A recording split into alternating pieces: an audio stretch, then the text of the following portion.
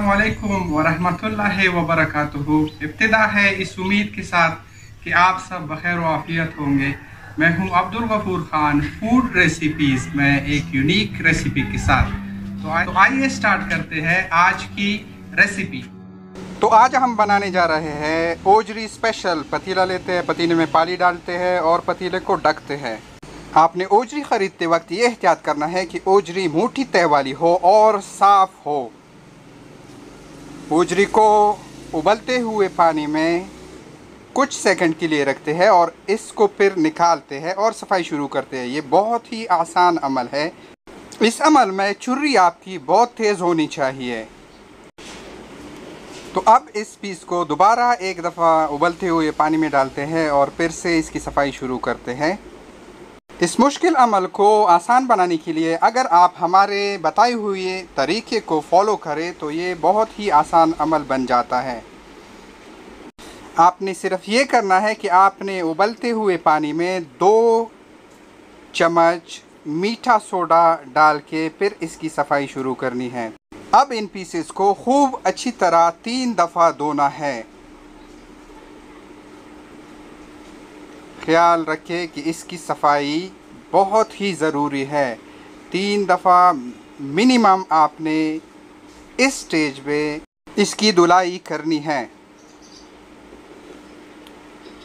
तो माशाल्लाह हमने तीन दफ़ा इसको खूबसूरत अंदाज में धोया है और अब इसकी कटिंग शुरू की है। इसको हम पीसेस में छोटे छोटे इंच दो इंच जितना आप पसंद करें आप इसको पीसेस में काट लें। और हमारी कटिंग माशाल्लाह शुरू हो गई है। दो दो इंच के टुकड़े हमने बनाए हैं, माशाल्लाह। ये देखें, ये मोटाई देखें और अंदर की जो चर्बी है, वो भी आपने निकालनी है। माशाल्लाह, ये देखें ये देखें, माशाल्लाह। ये उजरी का जो उभरा हुआ हिस्सा है, वो है। और खाने में ये बहुत ही लजीज होता है। जब आप इसको पकाते हो, गलाते हो तो इसका जायका ही कुछ और है। ये अंदर की चर्बी है, इसको ज़रूर आपने निकालना है, क्योंकि बहुत ही फैट होता है। माशाल्लाह, हमारी सफ़ाई अंदर वाली भी शुरू है और साथ साथ कटिंग भी शुरू है।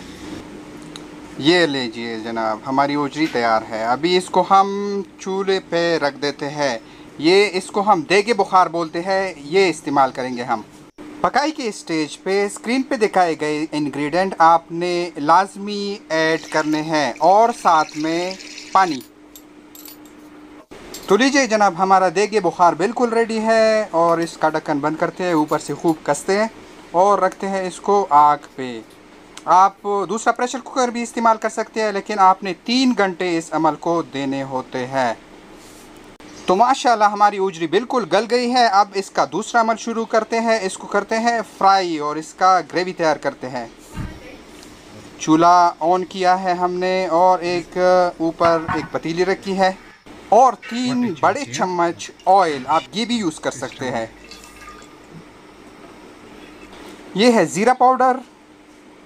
धनिया पाउडर लहसुन और अदरक का पेस्ट टमाटर मैश किए हुए और पाया मसाला। तो जनाब घी को गरम होने देते हैं। ये है टोमेटो मैश किए हुए और लहसुन और अदरक का पेस्ट धनिया ज़ीरा पाउडर। ये स्टेज पे हम यूज़ करेंगे। ये जी लहसुन और अदरक। लहसुन हमने पहले भी डाला था। हाँ।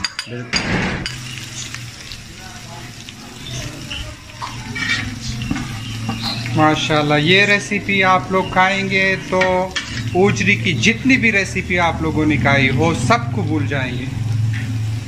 दोबारा फरमाइश की है। फरमाइश की है। अभी ये चूँकि गोल्डन हो चुके हैं अब इसमें हम ये पेस्ट डालेंगे टमाटर का।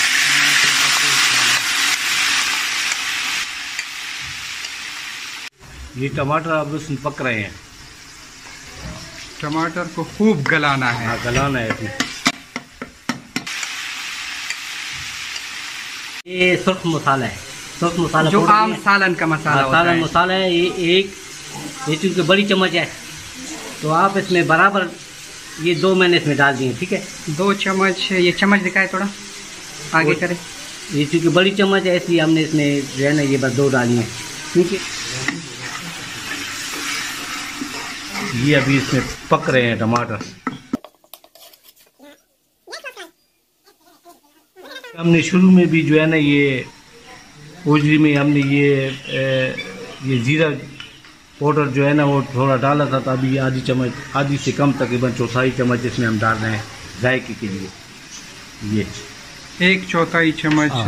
जीरा धनिया जो है ना ये ये पाउडर जो है इसका भी जो तकरीबन चौथाई शुरू में भी हमने डाला था ये तकरीबन चौथाई चम्मच इसमें जा रहे हैं जायके के लिए ठीक? चौथाई चम्मच इसमें गया है धनिया पाउडर और जीरा। इसमें जी हम डालेंगे ये एक पैकेट जो है ना ये ये पाया मसाला है जो कि इसमें अलग टेस्ट देता है बहुत ज़बरदस्त किस्म का। और जिससे जो है ना ये इसकी लजत में इजाफा होता है। और तो ये, ये हम इसमें एक डालेंगे ये पूरा एक पैकेट जाएगा क्योंकि छः से उजरी है तो उसमें ये एक पैकेट हम डालेंगे। इस ये गया जी ये आ गया जाए इसमें पाया मसाला। पाया मसाला जी। एक पैकेट। पाया मसाला। छः किलो अगर आप बनाते हैं तो इस हिसाब से। छः या सात किलो में एक पैकेट काफ़ी है। देखो इसका इसके डालते ही इसका जो है ना रंग बदल गया है। माशाल्लाह कलर देखिए अभी से। ये हमने जो ओजरी उबाल के रखी है ये आखिरी जो जाएगी।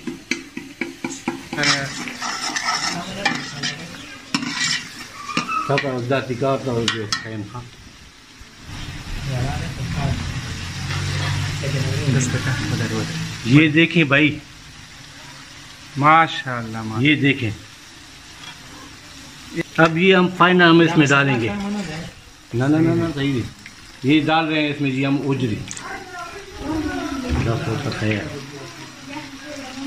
मेरा तो अभी से मुँह में पानी आ रहा है क्योंकि मुझे बहुत ही पसंद है उजरी। तो इस वजह से ये मस्ट ट्राई रेसिपी है। इंशाल्लाह आप, आप इसको ट्राई करेंगे यही हमारी वाली रेसिपी अगर आपने एक दफ़ा खाई तो बार बार घर वाले आपसे इसका तकाजा करेंगे कि यार हमें पक, पका कर दें।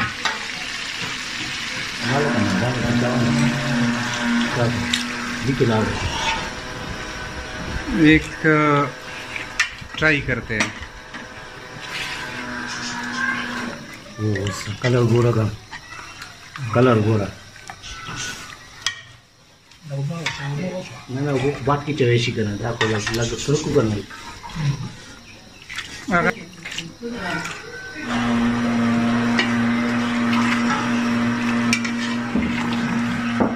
माशाल्लाह माशाल्लाह अल्हम्दुलिल्लाह ये वो जी जब जो खाएगा ना वो नसीबों वाला होगा। अभी ये देखो ये बस सब कुछ तैयार है। बस थोड़ा सा एक जोश आने दें। इसमें थोड़ी सी जो इसकी जो ग्रेवी है। ग्रेवी है ना वो उसका जो इसका शोरबा जो है ना शोरबा वो उसमें हम थोड़ा सा डालेंगे। तो बस उसके साथ ही इंशाल्लाह ये बस तैयार है। तकरीबन एक पाँच मिनट इसको बस उबाल आने दें उसके बाद बस ये बस तैयार है। कुटी हुई काली मिर्च जो है ना ये हम थोड़ी सी इसमें जायके के लिए डाल रहे हैं। ये तकरीबन बस ये दो चुटकियाँ इसमें हमने डाली हैं ये थोड़ी सी ये बस। ये जायके के लिए।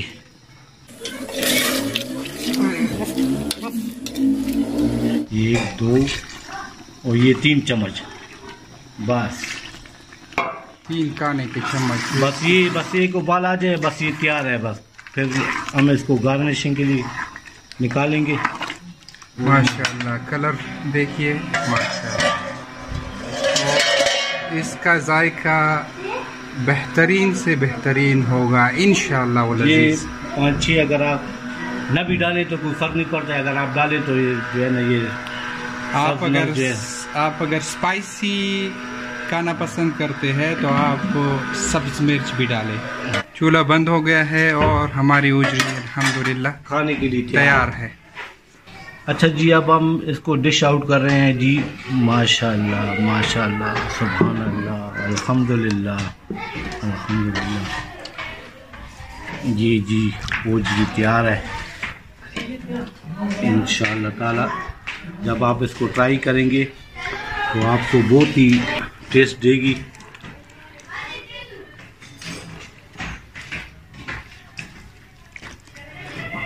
माशाल्लाह।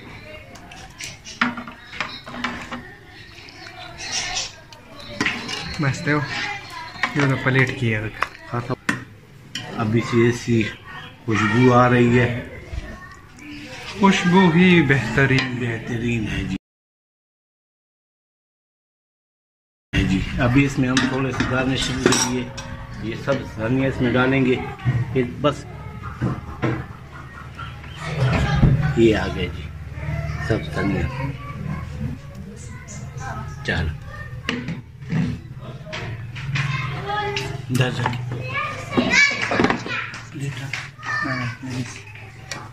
माशाल्लाह हमारी रेसिपी तैयार हो गई है। आप ज़रूर ट्राई करें और कमेंट में हमें अपना फीडबैक ज़रूर दे दीजिएगा। ये उम्मीद है कि हमारी ये रेसिपी आपको बहुत पसंद आई होगी। मिलते हैं अगली रेसिपी के साथ। तब तक के लिए अपना अपने अहलोयाल का और इर्द गिर्द के सारे लोगों का बहुत ज़्यादा ख्याल रखिएगा। तब तक के लिए इजाज़त। अल्लाह हाफिज़।